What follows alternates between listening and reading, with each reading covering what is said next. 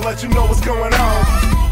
They say the world's gonna end, and I'm here to let you know that what they say is all wrong. But it is getting smaller, it ain't no secret, we are no longer the peak. I told you in my last CD, everybody better learn how to speak Chinese. You can tell by the weather, the world readjusting itself to something new. And if you ain't ready or you're scared of a change, it's gonna be over for you. We'll be here like last year, only is we are no longer the cops.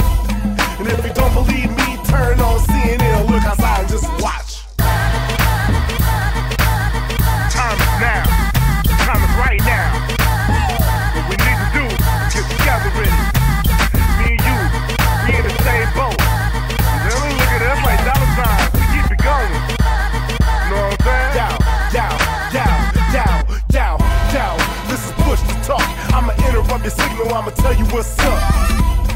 Get closer to your God, cause revelation's coming and it'll pass you up. We're being branded right now with the mark of the beast, and we don't even know it. Assimilation is control, and if you control the money, I'll be glad to help show it. See, evil believes that it's greater than the God that made him to be.